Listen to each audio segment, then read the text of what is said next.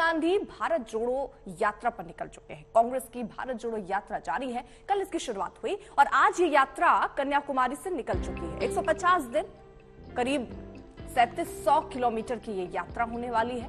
भारत जोड़ो यात्रा, इसको नाम दिया गया है। डेढ़ सौ दिनों की ये यात्रा रहने वाली है और सारे ही जो कांग्रेस के नेता हैं, कार्यकर्ता हैं, वो जोश में भरे दिख रहे हैं।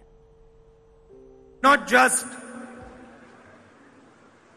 the Congress party, but millions and millions of Indian people are feeling the need of a Bharat Jodo Yatra. What is happening in the country that so many people millions and millions of people feel that there is a need to take an action